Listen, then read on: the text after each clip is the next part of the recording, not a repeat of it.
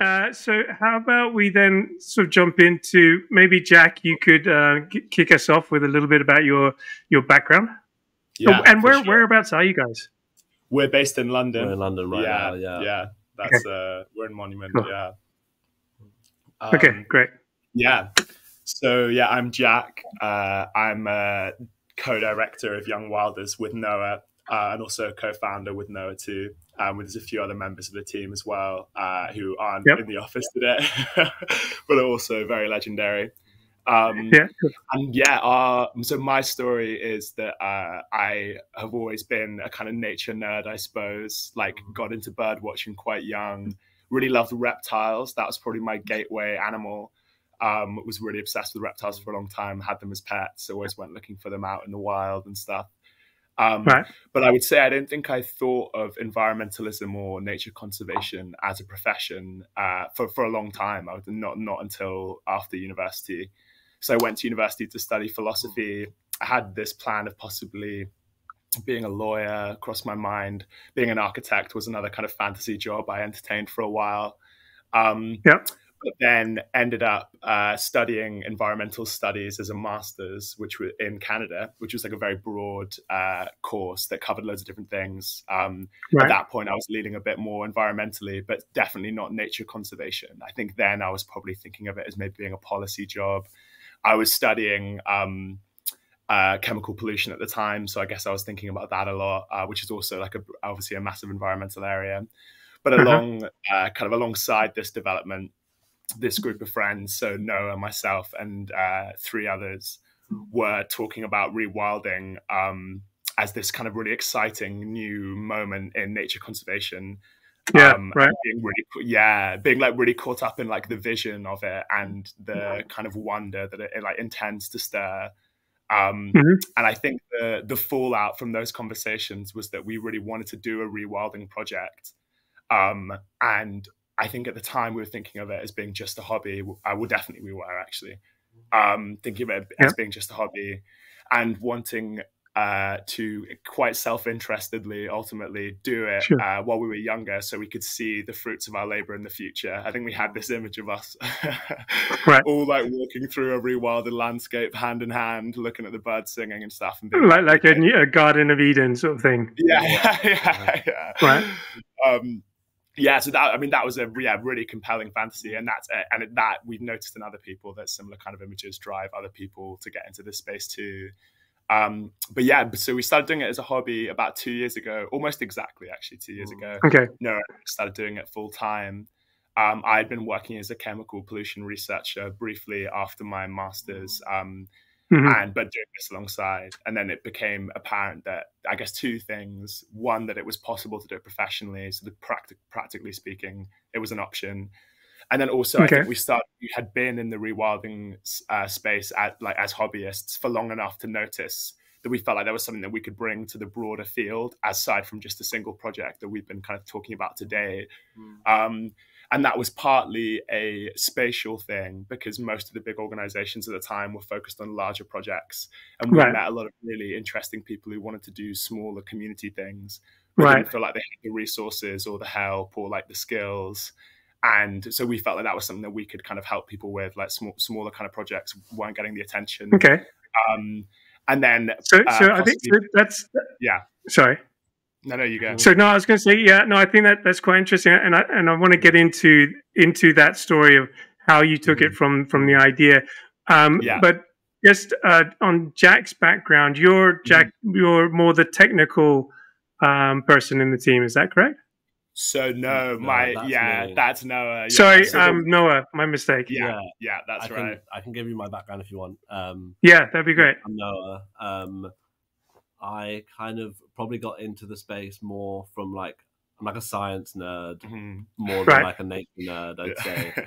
Um, and so it was kind of entering into the like sustainable energy, like climate space mm-hmm. more, right. where I saw myself when I was younger, probably. Um, and then I started working for a couple of years as like an environmental engineer, um, mm. which is just kind of where I landed. Um, right so I was lucky enough to work on a few really interesting like river restoration and like wetland creation projects.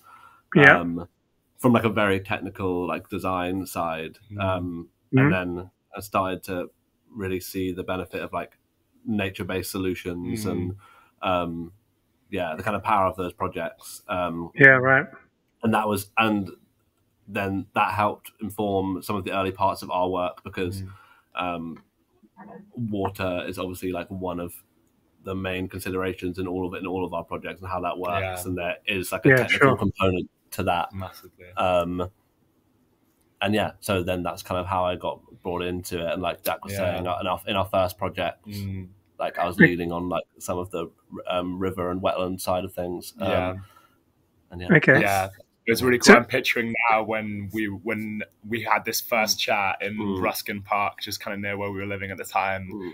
and um, I knew Noah was like kind of in the market for a mm. job shift and was interested in kind of focusing more on the kind of nature really nerd side of things mm. rather than like just the technical stuff. Mm. And it was a yeah. really legitimizing moment for us to have Noah join because having these kinds of skills is like indispensable to doing the more kind of yeah complicated ecosystem work. Mm. Um, so I'd say things didn't yeah really kick off until Noah fully joined, mm. which was yeah like two years ago now. Mm.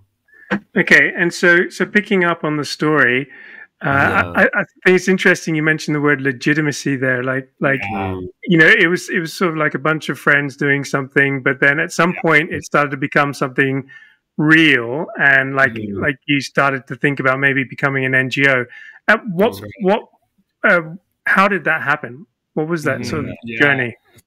I guess maybe one thing to mention um, is that we're registered as a non-profit um, as opposed yep. to a, a, CIO. So there's like two different yep. kind of non-profit registrations in the UK. Mm. Uh, one is like would be traditionally referred to as a charity, which is like the CIO stuff, mm. and then the non-profit yep. um, term tends to get applied to CICs, which is what we are. We mm-hmm. kind of function ultimately as a charity in the sense that we have mm. charitable mm. aims and we rely on donations and trusts. Um, right. But yeah, just good. Yeah, good to good to mention that publicly, so we're not beguiling. Yes. um, but yeah, the uh, I guess the the legitimization process was part. I think it was honestly mainly a demand thing. I would mm. say that we we never we responded to the kinds of responses we were getting where people like we mentioned people were reaching out to us small landholders asking for advice mm-hmm. and for a bit of guidance and then as we built up a bit mm. of a mm. kind of internet presence we started getting more attention from young people because we were realizing um, one of the big things that was missing in the field was mm. involving young people in the movement in a more substantive way because mm. we'd had some uh, involvement in these other nature organizations that are doing fantastic work but that the youth yep. involvement can sometimes feel like a bit of a box ticking thing or a bit of a mm. bolt on and i guess we had a vision and this is we've like developed this since obviously mm. but we had yeah. a vision of wanting uh, young people to be much more substantively involved in the mm. movement and to have their voices heard and to make decisions on projects. Um, even if that means the project's done kind of slower and more clumsily. But there's just mm. something really important about like the mm. kind of emergent generation being as involved as possible, especially given that we're going to be dealing with the consequences the most of like any generation, us, us and younger. Um, and then also there's just a massive desire to do this kind of work. Like the there's we've got some mm. stats that we throw around about like i'm going to slightly butcher this i think but four and five young mm. people don't feel like they're in the uk that's 16 to 25 don't feel like their environmental voices are being adequately adhered to. Mm. Yeah. Um, and that's that's a stat, but we've also noticed it mm-hmm. anecdotally as well that people like really want to help and get their hands dirty and stuff. And I guess well, like we yeah. I, I, I read on your site, I thought it was really cool. 80% of young people are eager to take action. So pretty much yeah, everyone yeah. wants to do something. Yeah. But only yeah. one in five believe that they're being listened to that's on environment, environmental issues. I was like, yeah.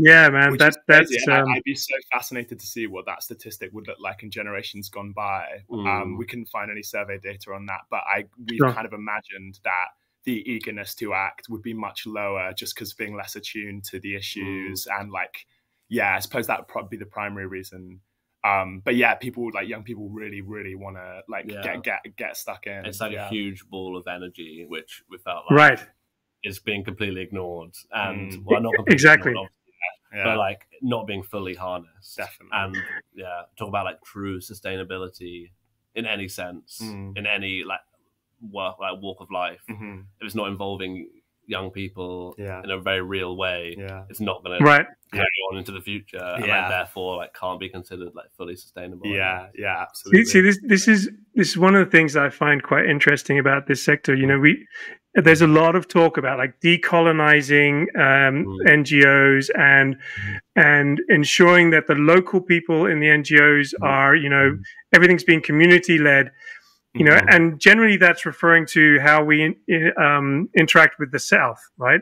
Yeah, the, yeah. The, but um, we, we can't even do it in our own communities. So you know, I, I, I think we got to start home at home first and yeah, figure that out no, before we, we can worry about that. Agree. No, absolutely. And I think and just another kind of like parallel point to that thought is um, a one big advantage of focusing a lot on the UK for eco- ecological restoration is that our ecology at the moment is a total train wreck, like a real like mm. global embarrassment. One stat we use is right. bottom ten percent on Earth in terms of ecological intactness, and I don't think people in the UK really think of ourselves like that because we have mm. like our countryside's a bit green, or like I, I would be guessing right. as to why, mm. but people really don't understand it as being like the devastated landscape it is, mm. and that massively, aside from all the obvious reasons, that's bad it really invalidates our voice on the global stage because we can't expect like any kind of I don't really know how politics works. I was going to say diplomat, but any like representative of the UK abroad, their mm. voice is like not going to be adhered to by any country if they're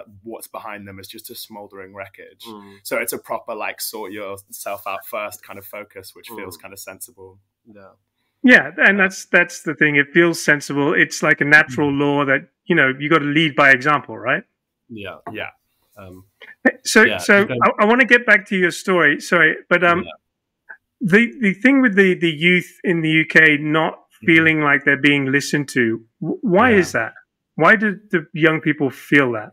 Do you think? Mm, yeah, yeah. I think we've got a massive like problem in the UK of like access to the countryside. Yeah a few very big landowners mm. owning like most of the country. Mm-hmm. Um, like yeah like i think that it's not necessarily a welcoming the countryside isn't the most welcoming place in the uk for yeah. young people or yeah. for people who don't haven't grown up in the countryside yeah um, sure like we've lost uh, again I, I, would be making up the stats mm. but like the co- common land in the uk has yeah. basically been com- like completely taken away yeah yeah um, yeah, I've been really alienated from the way our landscape mm. works. And I think that's reflected in why the UK is especially bad at this mm. kind of mm. thing.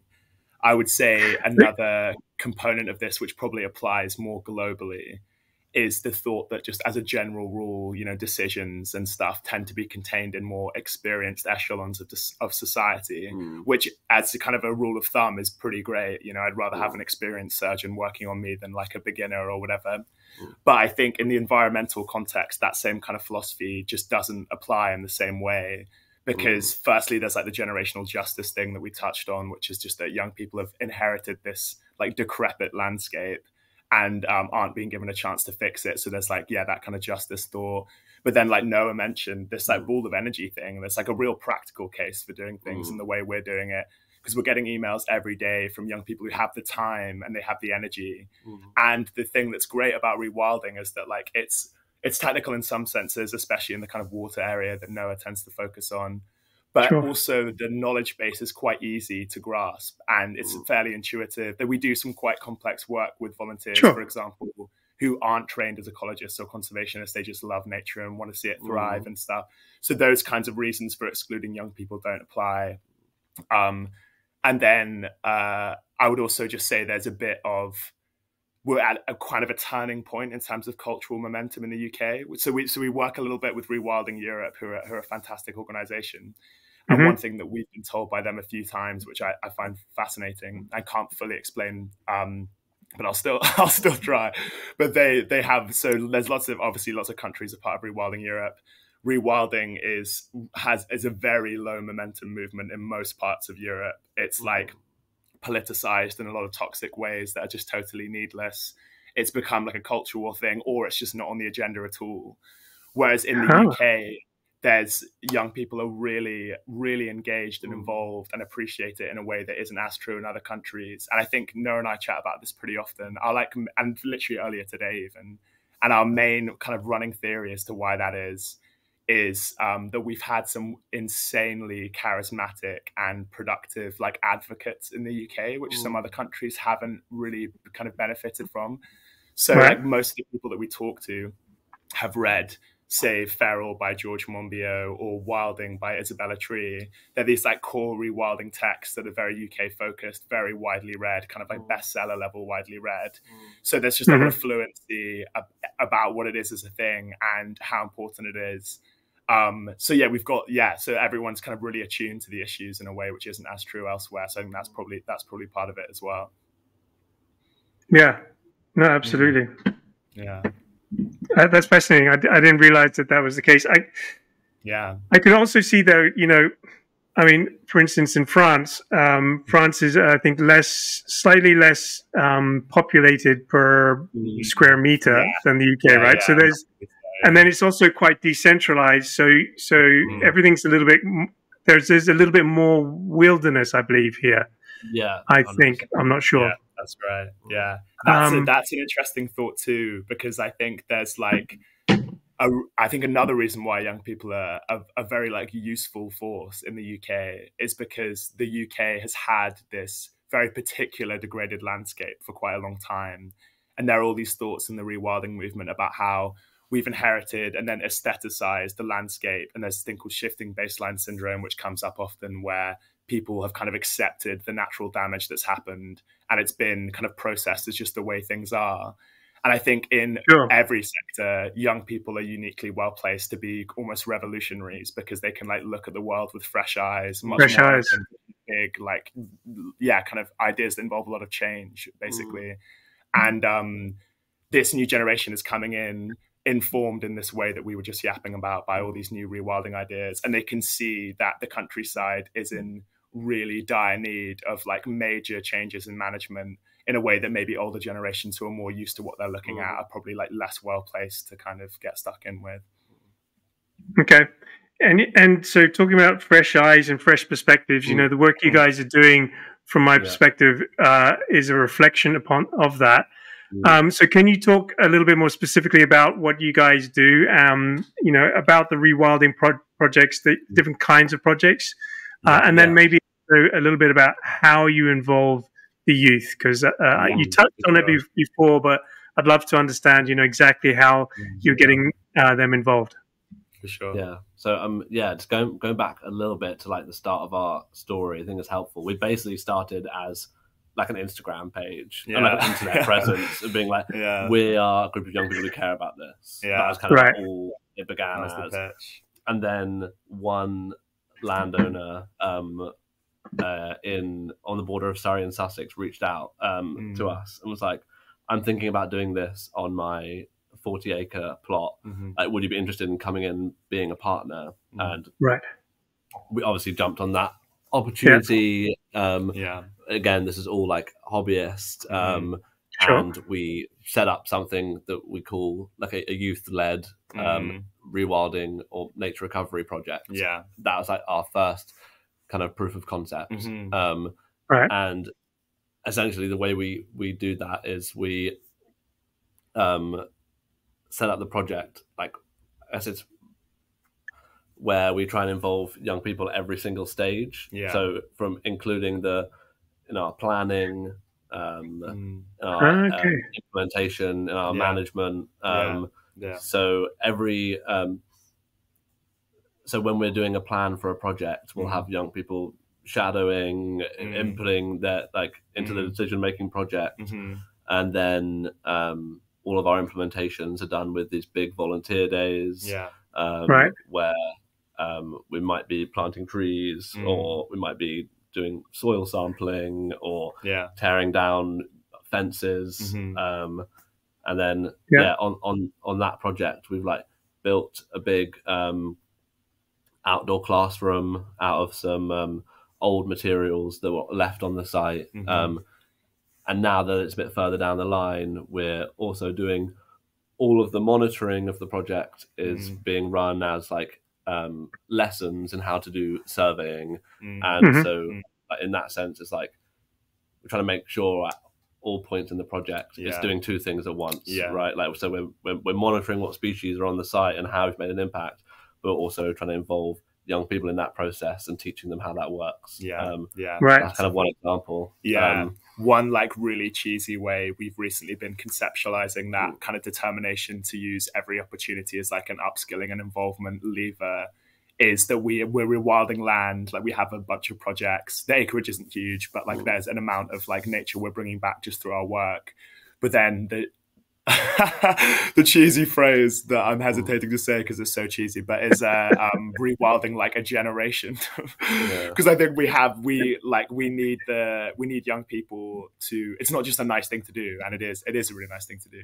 But we need loads of young people mm-hmm. who understand how this process works. We need loads of young people who have the skills to execute it. We need them to know each other and for that to be a community and for it to be a fun place that they want to be right. as well, which, which is a massive part of our work as well so I guess we're kind of trying to help build like a young nature nerd army that's going to help the UK kind of get things back to where they should be. Yeah, and so yeah, so we like we are saying, we did this this one project um, at this it's called Maple Farm. Yeah, and it's been a huge success. Mm. And then like following on from that success, we've had lots of other landowners reaching out to us, basically asking us if we can do the same thing. Mm-hmm. Um, and at the same time, by building our online presence and running a few um, engagement events. Mm-hmm. Um, like we run an annual festival, and yeah. we're always doing talks and webinars and mm-hmm. things to put our name out. Yeah, we've got a bunch yeah. of young, young, people from all around the country asking to get involved. Mm. So we now kind of have access to these tubules of energy yeah. um, for the first time, and yeah. so now we're, we're, now we're taking on as many projects as we can possibly do. Basically, yeah. So we're currently running um, ten nature recovery projects uh, mm-hmm. all around the country. Mm. Um, starting off mainly in southeast England, but we're now trying to we're trying to spread as as much as we can. Mm-hmm. Um, and they range from some are more like woodland creation, mm-hmm. some are more like grassland restoration, mm-hmm. river restoration, mm-hmm. um, wetland creation. Mm-hmm. Um, I think I missed anything out. Yeah, um, flower meadow stuff. Yeah, yeah, um, yeah. I mean, one, one of the, when I saw you guys on Leave Curious, um, yeah, what what I liked about it, I mean, there was a lot of things I liked, but you were mm. talking about doing hedgerows. Yeah, and yeah, love, what what I thought was really cool mm. was, I mean, I, I get the idea with hedgerows, but I'd always had this hmm. idea of rewildings like this big, huge, massive thing, you know, and then there's yeah. wolves are going to come back, and you know, yeah. it's it's yeah. this you know massive thing. But the way you guys were doing it, it, it, was suddenly so much more accessible, right, 100%. and made sense. And I thought, yeah, okay, that's cool. Yeah. On that, also, uh, I I thought Rob Rob's next video that he did was a was a reflection on rewilding as a concept, right? Yeah, yeah. And and I kind of felt like, oh, I bet that he was influenced by you guys.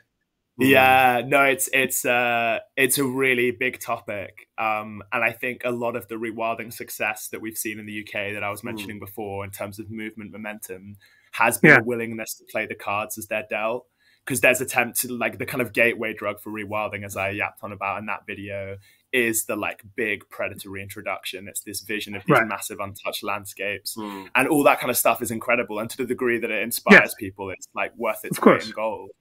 Um, yeah. But I think uh, in England, especially southeast England, where most of our work happens, but then also in the rest of the UK, there's really specific like economic, like kind of agricultural, like um, just regularly cultural uh, constraints um, and there's so much awesome work you can do within those constraints that it feels kind of crazy for them to stop you. I mean, the hedgerows is really the dream example of this process. There's lots of others, right. but hedgerows is great because it takes up such little land, so it doesn't it doesn't right. remove income for farmers. It's also in a way that I don't f- fully understand by nature of not being a farmer, but also really good for farms. Like it helps with erosion right. and it can protect things from the wind. Mm. Also, yeah. like brings pollinators to farms, which is obviously really helpful.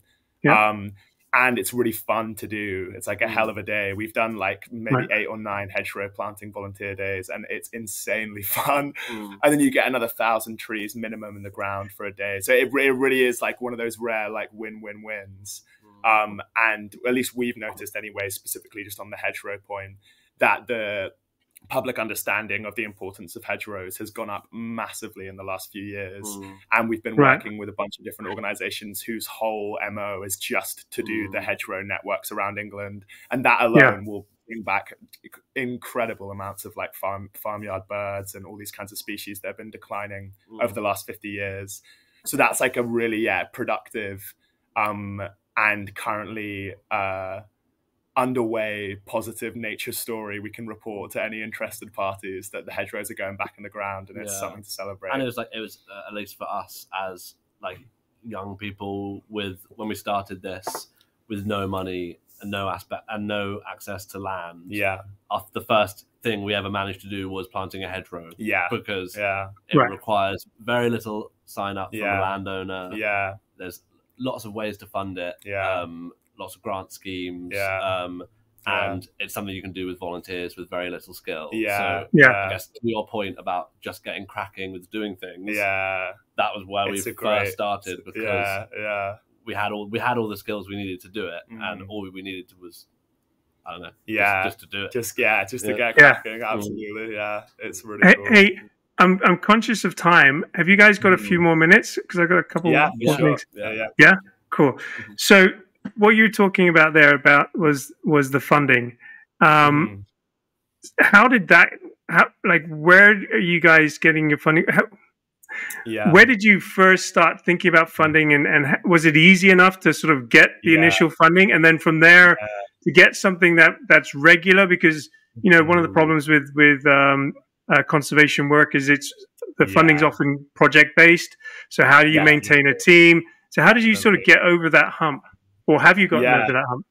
I can. I'll maybe make a more general point, and then I'll hand yeah. the reins to Noah because Noah's the one who's really been in the funding mm. trenches on all of that. Um, but yeah, so the, the general point I'd make, and this is a point that I've yapped about, um, kind of to anyone who'll listen over the last few years, is that when we were when we were first kicking off and we were chatting to as many kind of older conservationists as possible to gather a bit of seen wisdom, uh, a sentiment that we heard a lot was that you guys are in a very although there's obviously lots of stuff to be concerned about like the nature nature now is in a much worse state in the UK than it was 50 years ago for example. But the the really good news is that public support is here for nature in a way that's never been true previously. Like the kind of hearts and minds have been won in a certain sense. People like appreciate its value as as a thing and as a profession to help it. And then also to your funding point there's there's money available for this kind of work in a way that hasn't been true ever before um, okay, which has been cool. fantastic. It's been the wind in our sails right from the start, and it's made Great. our organization possible. I don't think we could have founded it 10 years ago, for example, and certainly right. not before that point. Um, in terms of the slightly more kind of fiddly uh, grant stuff, like I mentioned, Noah's been leading the charge on that. And there's been like a yeah. kind of there's been a bit there's a bit of a division like you mentioned between mm. projects and yeah. core costs yeah i think yeah when we started we were obviously all just volunteering our time um, and working off of project grants like the yeah. first yeah. grant we got from like the woodland trust and mm-hmm. like that's something anyone can access mm-hmm. um their more hedges scheme was the first little yeah. few thousand pounds that we managed to access yeah. um and there's lots of similar schemes like that um mm. all across the country really a lot Tree of council have got a good one that we've used yeah, um so we found it quite easy to access like mm. capital funds to make so to buy trees, yeah, wildflower seeds, yeah, um, yeah, you know, a few bits and bobs of materials we yeah, need. Yeah. But like you say, it's I mean, we've we've only been officially a, a CIC for two years, and mm-hmm. the, the, mm-hmm. funding is always a major challenge. Yeah, um, yeah. But I think that where we've been successful in like the philanthropic side of things, mm-hmm. um, winning some core cost grants. Yeah. Um, I think that climate change in general yeah is such a huge and expensive problem yeah. that we were finding more and more people were saying actually with our mm. uh, few thousand pounds yeah. we could probably do more in the bio in the biodiversity space um, yeah yeah and so we've had a few um, yeah a few funders who've been supporting us like as an organization yeah. in, in like to cover our core costs who, yeah have really focused on that side of things. Yeah, um, yeah. and see the value of yeah. community work in that space. For sure. Um, those problems yeah. obviously often come hand in hand as well. Um, yeah. And although we're more focused on biodiversity, just by nature of like creating land uses that absorb more carbon, we're kind of we're helping with climate mm. stuff too. Um, another uh, to just whine on one more moment about the kind of kind of current momentum slash like wind in our sails stuff is uh, the biodiversity crisis hasn't really been getting as much attention as climate change. Mm. And actually, this is a, it's a really interesting thing because when I, when I was working on chemical pollution during my masters, one thing my supervisor would often say to me is that the kind of the public consciousness on environmental matters and probably other ones too moves like in vogues and like it kind of latches onto certain issues but often because people have all kinds of stuff going on in their lives obviously can't hold more than a few like major environmental challenges in their head. So maybe it was like save the rainforest in the 2000s apparently chemical pollution had a big moment in the 90s when my supervisor was first entering the space. And then I guess the last 15 years, climate change has been kind of top of the agenda, uh, right, like rightfully so. Um, but we've been noticing um, at the kind of micro level that Noah just mentioned, mm. and like macro in terms of media attention and stuff, that the biodiversity crisis, which is also massive and has huge ramifications outside of just nature, uh, is getting a lot more attention to, and that's been really awesome. Yeah, but yeah. yeah, I think as a, as a small a small nonprofit, funding is the limiting factor of everything yeah. we do. Um, yeah, and yeah. yeah. we're still learning in that in that space. But um, yeah. at the moment, we're we're doing we're doing okay. we have just started to manage to grow our, our, grow our little team to have a few, yeah. a few more amazing young people work with yeah. us. So yeah, um, we're really excited about that. Yeah. No, you guys have done a really incredible job, and, and it's it's cool. It's good to know that there's easy enough money to access to, for those beginning projects to get started. I mean, is. the next stage is another thing altogether. Um, and, and, maybe sort of you know thinking about wrapping up this this mm-hmm. conversation, yeah. how do you guys think about sort of going forward and sort of mm. scaling up your your impact and mm-hmm. and what do you guys have planned? How do you think yeah. about that?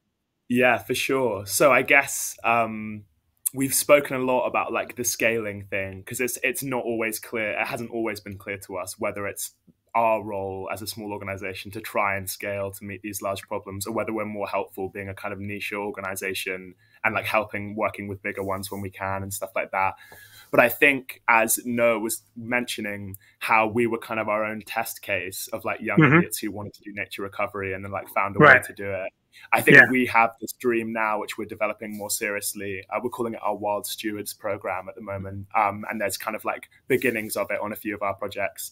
But basically, our kind of end game dream at the moment, and this is what the next few years is going to be dedicated to, is having a system in place where we can we have all these messages from young people, like keen like people who just like want to get stuck in and these really lovely messages from well-meaning landowners too who want this work to happen and we want to have like a really slick system in place where we can be like okay like you're from warwickshire there's three other young people in warwickshire who want to do this there's an awesome project just down the road where a farmer's giving over an unproductive unproductive field to some like forest regeneration and i know you want to learn about that whatever it ends up being and just putting people in touch and basically functioning as a kind of facilitator. Mm. So we want to kind of like repeat ourselves like mm. across the country as much as possible um, and at least early signs that that is uh, like could work as a system are really good. Mm. Um, and it's going to mean that our kind of challenge as an organization is much more of an organizational one rather than say like a kind of technical environmental one, which it has been up to now.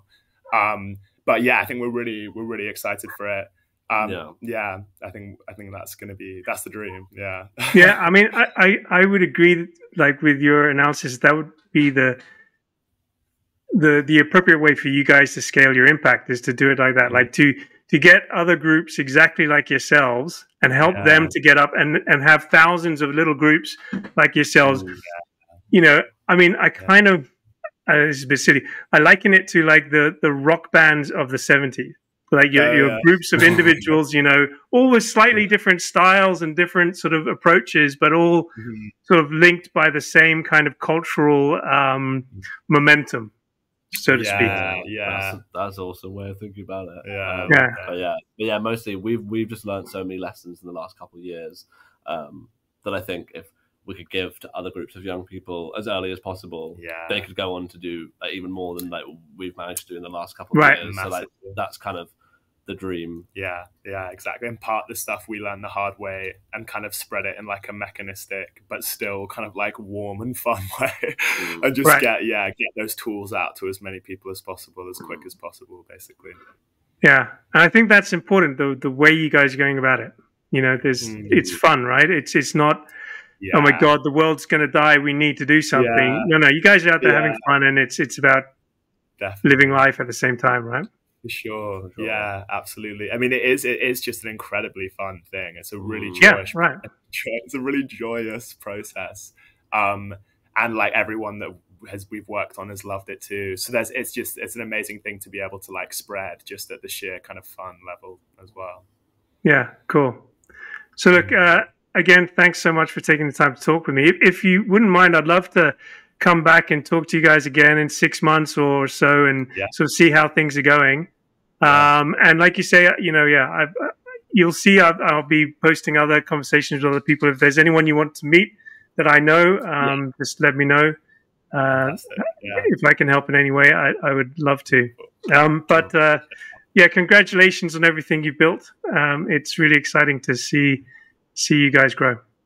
Thanks so much. Yeah, thanks really so much for talking it. to us. Yeah. Really nice. Thanks, guys.